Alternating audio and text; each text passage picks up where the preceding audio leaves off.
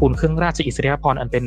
โบราณมงคลนพรัตนราชวราภรณ์เครื่องราชอิสริยาภรณ์ชุดนี้เป็นเครื่องราชที่เก่าที่สุด ตอนนั้นเนี่ยเกิดจากที่ว่าสมัยรัชกาลที่4เนี่ยสมเด็จพระจักรพรรดินโปเลียนที่3เนี่ยของฝรั่งเศสเนี่ยส่งเครื่องราชอิสริยาภรณ์กับสายสะพายมาถวายรัชกาลที่ 4 แล้วก็ส่งตราของเครื่องราชของฝรั่งเศสเข้ามาถวายเอ่อรัชกาลที่ 5 ตอนนั้นก็ยังเป็นเจ้าฟ้า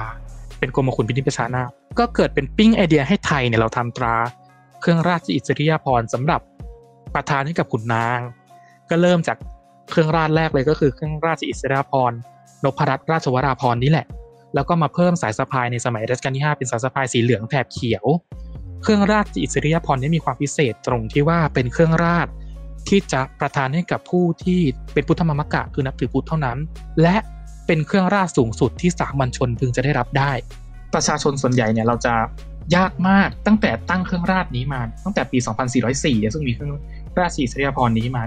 มีสามัญชนที่ไม่ได้ที่ที่เราพูดง่ายๆว่าไม่ได้เป็นเจ้า ไม่ได้เป็นเชื้อเจ้านายอืมมีเพียงแค่สิบคนเท่านั้นนะที่ได้เครื่องราชอิสริยาภรณ์นี้ จากคนไทยทั้งหมด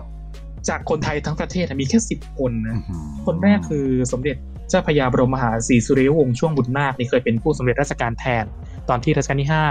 เอ่ออย่างทรงพระเยาว์อยู่ตอนนั้นรัชกาลที่รัชกาลที่สี่สวรรคตรัชกาลที่ห้าก็ยังสิบ ขวบสิบเอ็ดขวบประมาณสิบเอ็ดขวบเนี่ยประมาณยังยังยังพระเยาว์มากนะก็จะมีคนนี้แหละ เป็น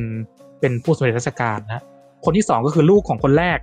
ก็คือเจ้าพระยาสุรยวงศ์วัยวัฒน์พิพัฒนศักดิ์หรือว่าวอนบุญนาค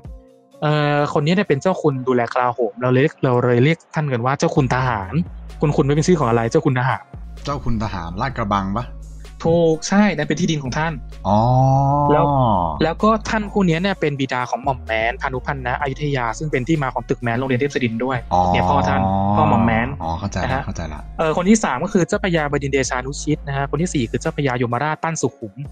เจ้าพระยายมราชปั้นสุขุม เป็นคนไทยคนแรกที่มีนามสกุลนามสกุลแรกคือนามสกุลสุขุมนะฮะรัชกาลที่หกพระราชทานอืมเอ่อคนที่ห้าคือเจ้าพระยาพิชเยนโยธินนะครับอุ่มอินทรโยธิน คนที่หกคือจอมพลปพิบูลสงคราม คนที่เจ็ดคือปรีดีพนมยงค์คนที่แปดก็คือจอมพลสฤษดิ์ธนรัตน์คนที่เก้าคือพลเอกเปรมตินสุรานนท์แล้วก็คนที่สิบคือสัญญาธรรมศักดิ์นายสัญญาธรรมศักดิ์นะฮะนายสัญญาธรรมศักซึ่งดิ์ก็คือแน่คนนอนสุว่าดคนท้ายที่ได้คนสุดใช่นะฮะแล้วก็คนที่มีชีวิตยืนนานล่าสุดก็คือพลเอกเปรมนะที่ได้เครื่องราชสีเสพรชนิดนี้อืมฉะนั้นปัจจุบันเนี้ยก็ไม่มียังไม่มีสามัญชนที่ได้เครื่องราชนี้